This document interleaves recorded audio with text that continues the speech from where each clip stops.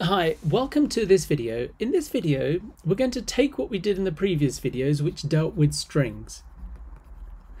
And the example we used, which is still on screen in Python, let's just get rid of all our crazy experiments there, it was hello world.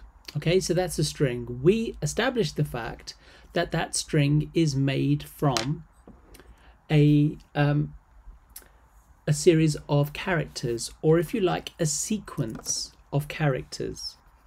Okay, so just as a quick reminder, there are two things we can do. We can um, create a loop um, using an index value as we did before, and we go up to, I think it's 11, and then we just simply print s square bracket the index value. Okay, so that's a, a mechanism we looked at in one of the previous videos. Let's just quickly update that and um, run it so you can see. And it takes each letter and displays it in a sequence. So that's one way of doing it. But what you'll notice also about Python is that um, there's another way of doing exactly the same thing. Instead of using indexes, because a string, because of the idea that a string is essentially a collection, let's just go back to the example we had. So before I introduce lists here, because it, these are indexed, you can treat this almost like a list structure. Now, what does that mean? But this, this is a bridging concept. This is a concept that will lead you to the next step. Right, so that's one way of doing it. Let's get rid of that. And let's say that we just want ch, which I'm going to say is a character. And all I'm going to do is I'm going to do that in my loop. I need to explain that to you. And then in here, I'm going to print this ch. Now, what, what's going on in that loop looks a hell of a lot simpler and clearer.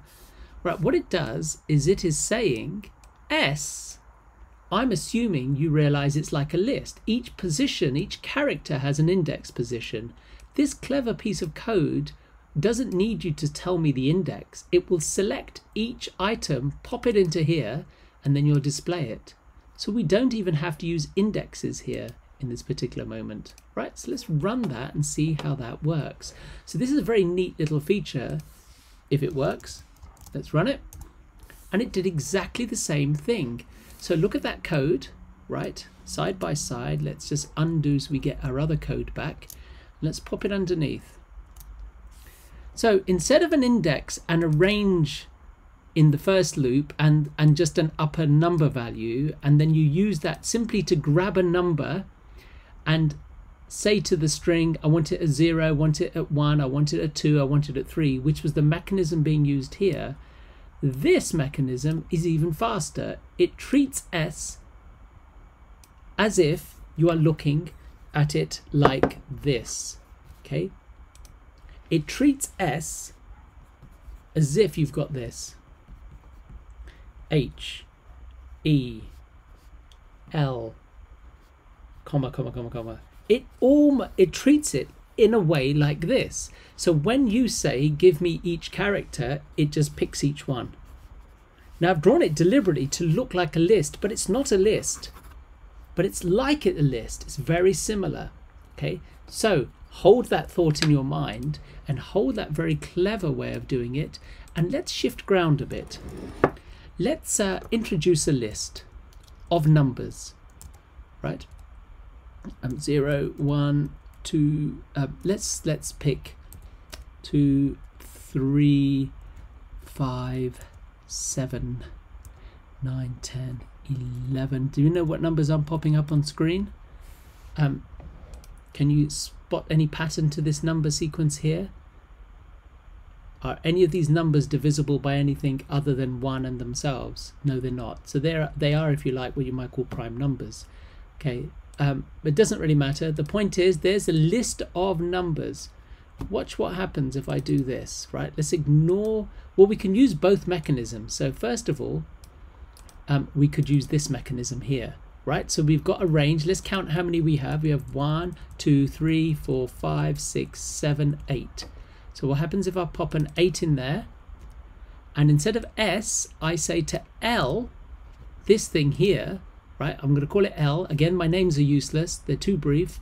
And uh, I don't want you to encourage to use those. I want you to use better names than I have. I'm going to comment that out. Right. And comment that out for the time being because we're only interested in this here. But we're using the same looping mechanism. This is going to give me an index value up to 8. I'm going to take the index value and I'm going to select an item. Does that work? And let's talk about how and why it works in a second. Let's make sure there's no error in my code. Um, and let's run it and see what it shows me. Oh, it seemed very happy with that. So what's going on here? You might say to me, hang on, that's got a square bracket and commas. This is just a string. From Python's point of view, it treats them in very similar ways. And that's very useful to you. Let's get this scribble out of the way and uh, just have a look at the code. When you have a list, I've called it L, and I've got 0, 1, 2, 3, 5, 7, 11, and 13, just for the sake of it indexes that from 0, 1, so the every position, every every number between the commas has an index 0, 1, 2, 3, 4, 5, 6, 7. You say to me that's very similar to a string, and I would say absolutely it's very similar to a string, and it makes gives you very powerful features here and very useful features. Let's say that I want to select that one number there. Right, that's at index 4. Let's just see how to do that. Let's get rid of that comment. Get rid of that loop, sorry. Right, and we'll come back to that in a minute. What happens if I just have a single print statement? Right, open close bracket, L square bracket, and we said we were interested in number five, so that's at index four. What happens if I just put a four inside a square bracket in that way there? Right, so let's just write it here, what we're doing. We are suggesting that that should give me that five back, okay? It's a very good exercise, actually, one of the worksheets that gets you to understand this. It's a good test. What do we expect? Do we expect that 5 to appear or it's going to do something else? Who knows? Let's have a look it gives me 5. Let's change that number to uh, index position 5. Count before I run this and tell me what you think it's going to create. Should, I think, give you 7, right? So let's run it. And it gives you 7. So here we have two very, very similar looking concepts. This is actually technically a list. It's a sequence of numbers, right? And Python is powerful enough to actually use similar mechanisms of how it deals with a string, which is a sequence of characters. So let's test that through. Get rid of that.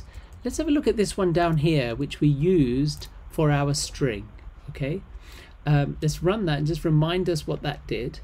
And then let's see how we can adapt that for this list.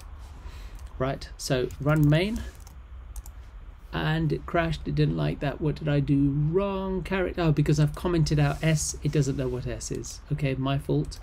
Let's um let's run that again right? Um, run file as script and let's run that main method. And there we go. It's taken each character and displayed it. Now can I do something similar with this?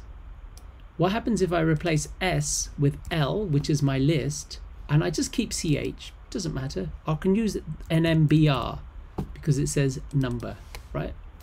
And let's copy that into, oops, let's copy that into here, right? And what do we expect is going to happen here? Have a guess before I run it. So let's build it, make sure I haven't got any typos here at all. Um, and run it. And look what it's done. Exactly the same as we had with the string. It's gone through that list, taken each character and displayed it. The reason I didn't use 0, 1, 2, 3, 4, 5, 6, 7 is I wanted you to see that these numbers are the numbers sitting inside the list, not the index value. So that is a very, very powerful thing to be able to do.